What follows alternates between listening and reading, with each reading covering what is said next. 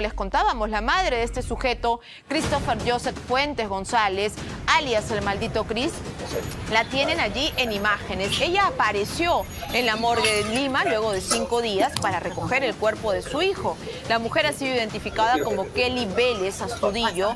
Fue de inmediato retenida por miembros de la Policía de Extranjería debido a que no tenía los documentos en regla. Se conoció también que ella llegó hasta Antropología Forense para entregar toda la documentación de que ella es el familiar directo de este delincuente que terminó siendo abatido por la policía y tras llegar eh, además eh, presentó la documentación de que se trata de la madre, ¿no? Ella ha quedado en calidad de intervenida, ha sido dirigida a la División de Extranjería de la Policía Nacional, pues ha ingresado al Perú de forma ilegal.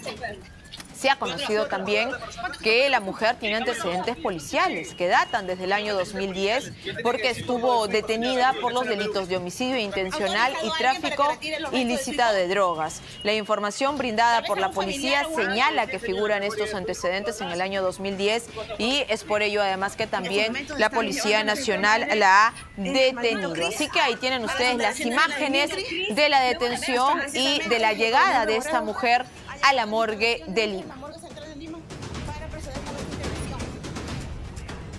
Tenemos, por supuesto, todo lo que ha ocurrido con esta mujer que además había ingresado al país de manera ilegal.